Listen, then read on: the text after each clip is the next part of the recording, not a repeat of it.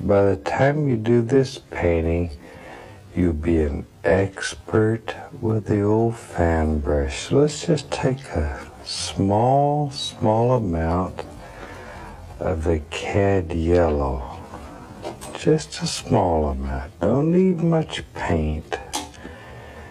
And just put a little on the bristles. Okay?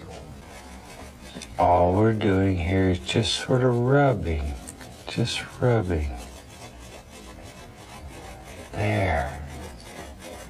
And just begin creating some basic little tree and bush shapes here. We're just looking for very basic little shapes.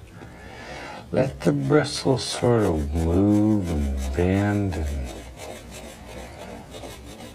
there. These are far away and we're not looking for a lot of detail. And if they get they get a little too bright, we can take the large brush and just rub them and they'll go away. Hi, welcome back. Certainly glad you could join us today. And as you can see, today I have one of my little friends here with me.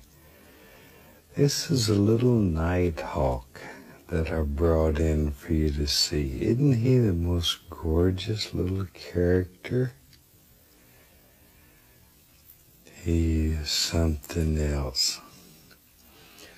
I love these little animals so much. Ever so often, I just like to share one with you. So I say, this is a nighthawk, and he he flies around at night and eats insects by the ton. Just flies around with his mouth open. This one's been injured. He only has one wing. But he's doing very, very well.